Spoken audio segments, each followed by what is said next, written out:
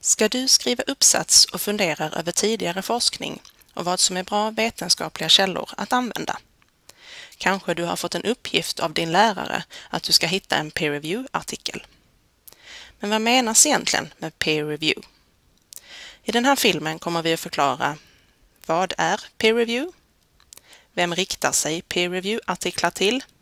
Och hur blir artiklarna publicerade? Vi tar det från början. Vetenskapliga artiklar är skrivna av forskare som vill presentera sina forskningsresultat för andra forskare inom samma forskningsfält och för studenter som du själv som utbildar sig i ämnet. Artiklarna publiceras i vetenskapliga tidskrifter och för att få bli publicerade i dessa måste artiklarna genomgå kvalitetstest, dels av tidskriftens redaktörer, men också genom det som kallas för just peer review. För att lättare förstå vad peer review är och varför det är viktigt kan vi titta på hur hela processen går till.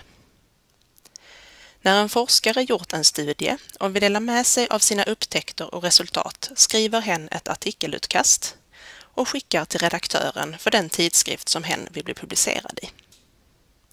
Redaktören gör en första granskning av artikeln för att se om den är aktuell och intressant för tidskriften att publicera.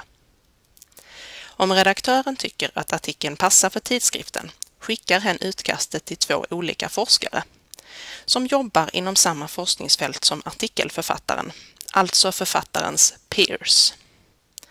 Dessa forskare som får läsa artikeln får dock inte veta vem som har skrivit artikeln för att de neutralt och objektivt ska kunna läsa och granska den. De två forskarna utvärderar artikeln för att bedöma kvaliteten och betydelsen av forskningsresultaten. De granskar artikeln utifrån olika frågor, som till exempel är studien relevant för sitt ämnesområde? Är det tydligt hur studien har genomförts? Används relevant tidigare forskning inom ämnet? Har en lämplig teori och metod använts? Är slutsatserna rimliga? Och är resultaten nya och unika? Om de granskande forskarna bedömer att artikeln håller måttet rekommenderar de redaktören att publicera artikeln. De kan också komma med förslag till ändringar som författaren kan göra. Då skickas utkastet tillbaka till författaren som skriver ett nytt.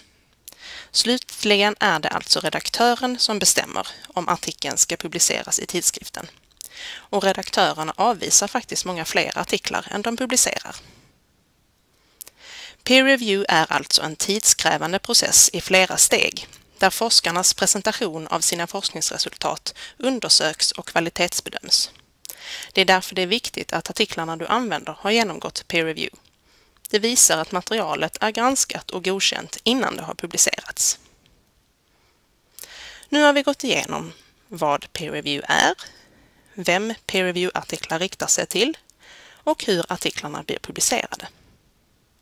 Om du har frågor eller funderingar om peer review, kontakta gärna en bibliotekarie. Tyckte du att det gick för fort? Titta gärna på filmen igen eller spela om de avsnitt du tyckte var svåra.